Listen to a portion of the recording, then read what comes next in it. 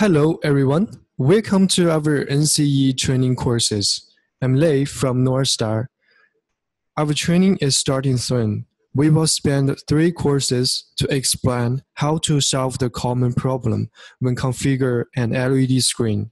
And today is the first troubleshooting course, and the topic is blackout issue. To provide you a good training environment, we sincerely suggest you to keep your audio on mute mode during the whole session. Please scan the QR code or click the link at the chat room to sign in. If you can't click the link, please copy and paste it to your browser. Feel free to leave your questions that are related to this topic on the chat room. We will reply you later on the Q&A session. If you have any other questions that are not about this topic, please feel free to send an email to nce at novastar.tech. Now let's welcome Jenny. She is today's trainer. Hello, everyone. Glad to see you again. This is Jenny from Novastar. Welcome to our NCE training course. First, I'd like to start with the introduction of our NCE training to the guys who are not much familiar. The full name of our NCE is a Novastar Certified Engineer. We have trained more than 3,000 individuals all over the world since it started in 2014. By giving multiple courses and uh, valuable chances to embrace the LED control system, our NCE courses enable you to operate and maintain the equipment independently. Because of the new coronavirus, this year we held the training online. So we are hoping more techniques could get the knowledge and the certification even in its hard time. Okay, now our NCE will have uh, eight courses and a final examination. You could get the online training certification if you sign in for six courses at least and pass the final examination. Okay, at last, I hope you guys could go to all the courses and make a good score. Okay, today we will spend one hour together. During this time, I'll show you the troubleshooting blackout issues. And we also have Q&A time after my presentation. Okay, let's start. So before we talk about today's topic, the blackout issue, first let's be friends with our receiving card. I guess maybe someone have a question in your mind. Why why I need to be friends with the receiving card? It is because from the receiving card indicator lights, we can get a lot of useful information of our screen. Okay, let's say together. Okay, here I'll show you some situations of the receiving card indicator lights. I'll show you a short video. Here we can see from the short video, the receiving card green light indicator flashes once a second. Let's say again. So this situation, it means our receiving card works normally. Okay, let's see the second situation. Also a short video for you. Here we can see from the short video, the receiving card green indicator, the receiving card green indicator lights flashes very fast. So it flashes uh, four times in half second and then it flashes again four times after half second interval. Okay, let's say again. It flashes very fast, four times half a second. So this situation, it means our receiving card works normally, but it is in the backup mode. Okay, let's see the third situation. Also a short video for you. Here we can see from the short video, the receiving card green indicator lights flash is very slow. So it flash once for 5 seconds. Let's say again.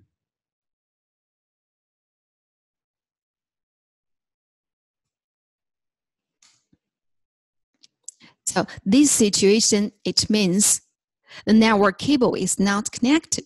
So maybe we need to change another network cable. Okay, let's say the last situation.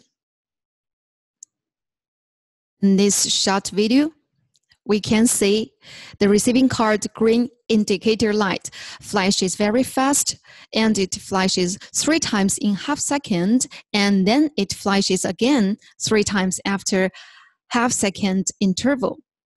Okay, let's say again. So this situation, it means there is no signal input.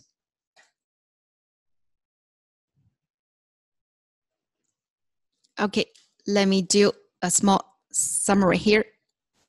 Now, all these situations is uh, uh, the situation I just show you. Here, the first one, the green light flashes uh, four times a second. So it means our receiving card works normally, but it is in the backup mode. And the second, the light flashes uh, once a second. So it means our receiving card works normally. And the third one, the green light flashes very slow and it flashes uh, once for five seconds. So this means the network cable disconnected. And the last one. The green light flashes, uh, the green light flashes uh, three times half second. So this means there is no signal input. Okay, remember all these situations because it is very important in the following part of my presentation.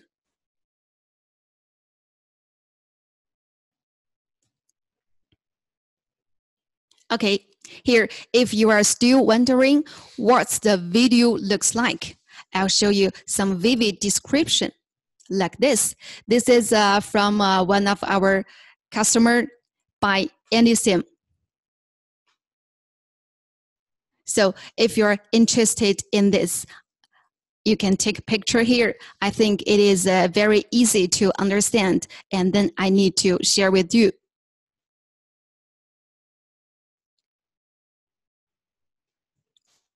Okay, now let's go back to today's topic, the screen blackout issue. So when we are talking about the screen black issue, so we need to divide it into two situations. The first one is the full screen blackout. Like this, the whole screen is black. And the second is part of the screen blackout. There are three situations. The first one, the specific cabinet is black. And the second, the specific module is black. And the third, the sending card output area is black. Okay, then what could cause the blackout issue? So if you want to locate the possible reasons, first we need to take a look at the basic structure of the LED control system. So in the first course, I have uh, show you the basic structure of our LED control system. Let's review it. Here we can see the control computer is connected to the sending controller by the USB cable or the Ethernet cable. And at the same time, the control computer need to provide the video source to the sending controller. Okay, but sometimes we need a video processor to deal with the video source before providing it to the sending controller, such as the scaling function or the rotating function. And then the sending controller is connected to the LED display from the Ethernet cables from different output port. Regarding the end of the LED display, it is composed of many LED cabinets. Okay, and we know in each cabinet there is a receiving card and a hub card connected to the LED module through the flight cable. Okay, so this is the basic structure of the LED control system. So all the factors can be the possible reason that can cause the blackout issue. As I have uh, just showed you, the blackout issue can be divided in two situations. The first one is the full screen blackout. And the second is the part of the screen blackout. So let's check them one by one. First, let's see the full screen blackout. Here we have a table for you to help you understand the full screen blackout issues. We can see the potential cause, details, and then we can get the solution. Okay, so for the full screen blackout issue, we can check six cores. The screen power, brightness value, Ethernet cable, sending card, video source, and the receiving card. Okay, let's check it out one by one. So for the screen power, the simplest but the most overlooked problem is the power. So make sure your screen is powered on. And sometimes if we have the uh, insufficient power supply, so in this case, we need to change the power supply. Okay, and for the screen blackout issues, we need to check the second course, the brightness value. Maybe sometimes the brightness of our screen is 0%. So in this case, we need to increase increase, increase the brightness maybe, maybe to 50%. And in our software or on the front panel from the uh, sending controller, then we can get if it is the brightness value that caused the blackout issue. Okay, and also in the LCT software, in the screen control interface, we need to check if we do the setting is blackout. So if it is, we need to change the setting to normal. Okay, for the Ethernet cable, sometimes if it is loose or if there is something wrong, so we need to reconnect or change another Ethernet cable. Then let's go to the sending card part. The first important thing is the power. So make sure the sending card is powered on. And the second, we need to check if we select the wrong input. So this means maybe in the hardware structure, we select HDMI as the input. But in the software part, maybe we choose the DVI or some other input as the source. So make sure we select the corresponding input source. Okay, and we also need to check the input source interface. If there is something wrong, we need to change another interface. But sometimes maybe there is not enough interface. So in this case, maybe we need to change the sending card. Okay, and for the video source part, first we need to check if the source is black. So if it is, we need to we need to change the source. And also the second is the cable connection. It is the same as the Ethernet cable. So if there is something wrong, we need to reconnect or change the cable. Okay, and the third one is the compatibility. So this means if sometimes there is something wrong with our sending card firmware program file, so we need to upgrade the sending card firmware program file. And sometimes maybe the video source format is not correct, so we need to change the video source. Okay, the last one, we need to check the receiving card part. We need to check two things, the RCFGX file and the firmware program file. So if there is something wrong with this uh, two file, we need to send the original RCFG file or recreate the RCFGX file. And also we need to upgrade the correct firmware. Okay, after we got all this point, let's say the systematic method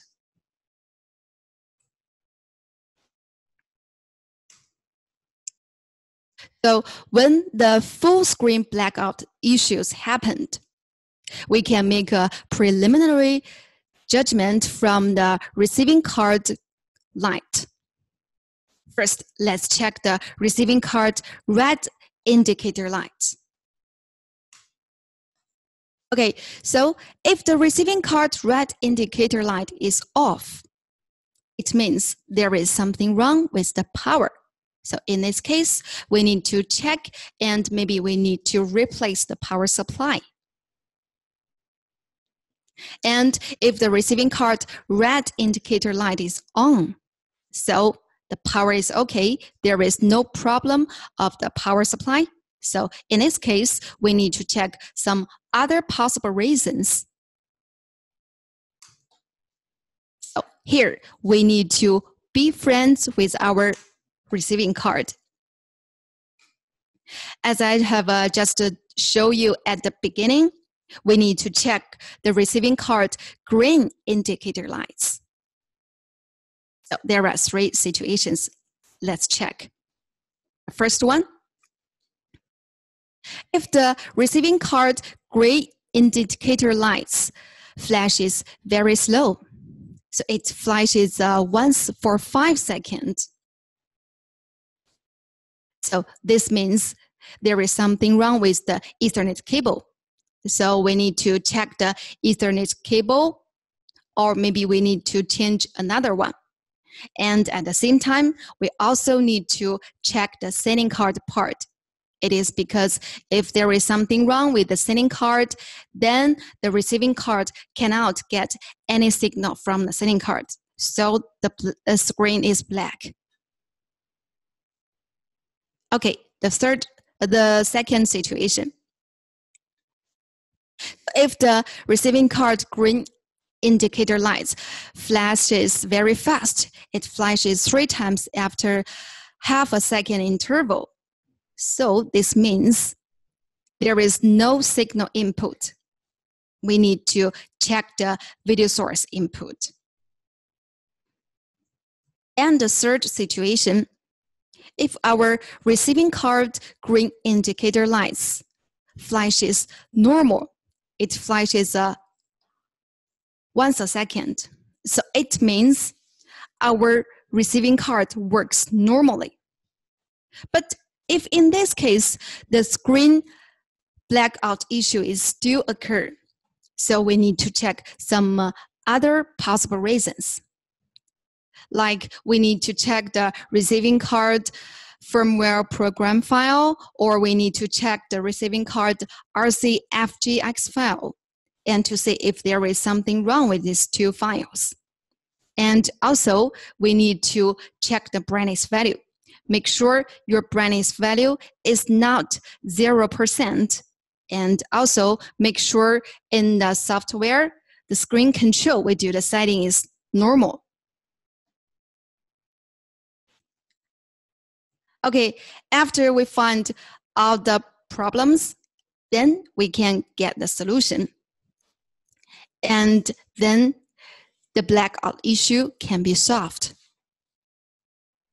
Okay, so all this I have already shown you is not the only systematic method.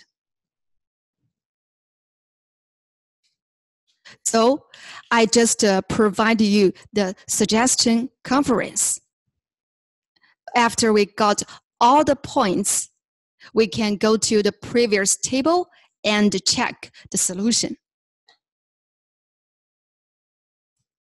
Okay, now let's say part of the screen blackout issue. This issue can be divided into three situations. The sending card output level, cabinet level, and the module level. So for the sending card output level, we first we need to check the screen power.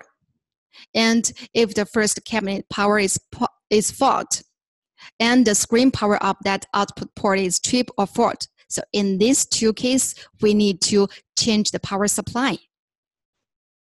And also, we need to check the Ethernet cable. If it is loose or there is something wrong, we need to reconnect or change another one.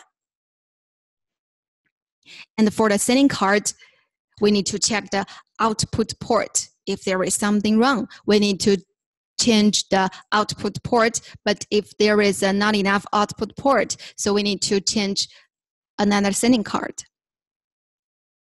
Okay, and for the cabinet level, first, it is very important to check the power supply. If there is something wrong, we need to change another one and the Ethernet cable, it is the same as before. So if there is something wrong, reconnect or change a new one. And for the receiving card part, we need to check the RCFGX file and the firmware file. If there is something wrong, we need to read from a normal receiving card and send to this receiving card. And we need to upgrade the correct firmware. And maybe in some uh, special cases, there is something wrong with the receiving card. So I think I ha- we have to change a new receiving card. And for the hub board, it is the same as the receiving card. If there is something wrong, we need to change a new hub board. Okay, for the third situation, the module level. The first important thing is to check the power supply. So if there is something wrong, we change the power supply or the power cable. And for the hub board, if uh, the hub board disconnected or there is something wrong, we need to change to other connectors or we need to change a new hub board. And also the flag cable, it is the same as the Ethernet cable. If it is loose or there is something wrong, we need to reconnect or change another cable. Okay, after got this point, let's see the systematic method. So when part of the screen blackout issue happens on the specific output port of the sending card, then we need to exchange to another output port. So after this operation, if the issue stays on the same output port, so it means there is something wrong with the output with this output port. In this case, we need to check the output port interface and maybe we need to check the sending card. And also we need to check the power supply. It is because if a there is something wrong with the cabinet power supply, then the receiving card cannot get any signal from the sending card. So the screen is also black. And if we exchange to another output port and the issue switch to a new output port, so this means there is uh, no problem with uh, this output port. So in this case, we need to check the Ethernet cable to see if there is some problems. Okay, and for the second situation, if part of the screen blackout issue happens on a specific cabinet, we need to check the power supply, the Ethernet cable, receiving card, and the firmware program file, RCFGX file. If all these issues are confirmed, then we can get the solution. If the issue are not confirmed, then we need to exchange the Ethereum receiving card with a normal one. So after this operation, if the issue switches to a new cabinet, it means there is something wrong with our receiving card. So we need to check the receiving card. And after this operation, if the issue stays on the same cabinet, it means our receiving card is okay. So we need to check some uh, other possible reasons like the cabinet hardware fault and the hubboard fault to, check, to get the detailed problems. Okay, and the third situation, if part of the screen blackout issue happens on a specific module. So we need to check the power supply, the flight cable, and the hub board socket and get the solution. Okay, after all these points are checked, we can get the solution and then the issue can be solved. Okay, so let me do a summary here today. Today we have learned the receiving card green indicator light. So when it is works normal, the green indicator light flashes uh, once a second.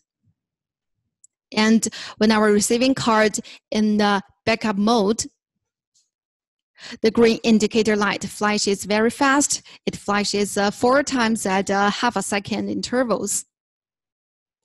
And uh, if the network cable is disconnected, the green indicator light flashes once in five seconds. And if there is no signal input, the green indicator light flashes uh, very fast. It flashes uh, three times at half a second intervals. And also, we learned the screen blackout issues. It can be divided into two situations. The first one is the full screen blackout issue. So we need to check the receiving card indicator lights first. And the second situation is part of the screen blackout.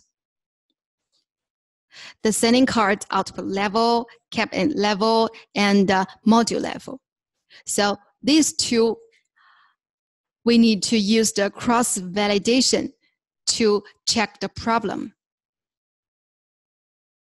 Okay, after all these are checked, then we can go to the troubleshoot table, the previous table, then we can find the final solution. Okay, Today is very special. I have a homework for you. The first one, what is the receiving card indicator lights status when there is no signal source input or work in the backup mode or no signal? And the second one, what if there is one cabinet on the screen is blackout? What could be the possible reason and how can we do the troubleshooting. Okay these two homework are for you. It is uh, very important related to the final examination. And in the next class i'll check your answer. You don't you don't need to upload your answer to us. Okay you can take a picture here